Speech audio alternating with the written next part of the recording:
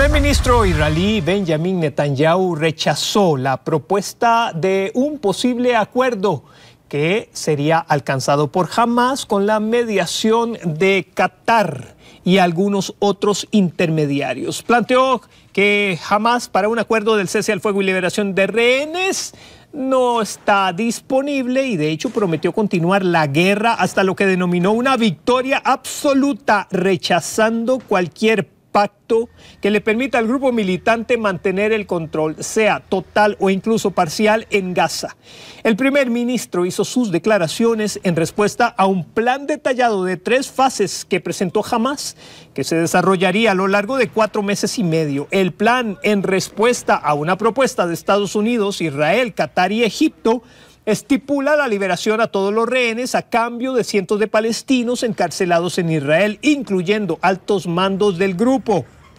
Uno de los objetivos de Israel en la guerra es destruir las capacidades militares y de gobierno de Hamas y la propuesta de hecho lo mantendría al frente del poder en Gaza y le permitiría reconstruir sus capacidades militares.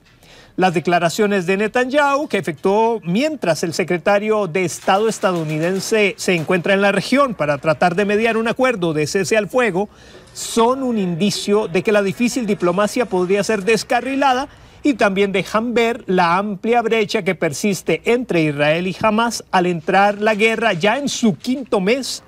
Netanyahu señaló que la presión militar era la mejor forma para liberar a los cerca de 100 rehenes que siguen cautivos en Gaza, a donde fueron llevados después del ataque transfronterizo en el sur de Israel el pasado 7 de octubre, que fue básicamente el detonante de la guerra.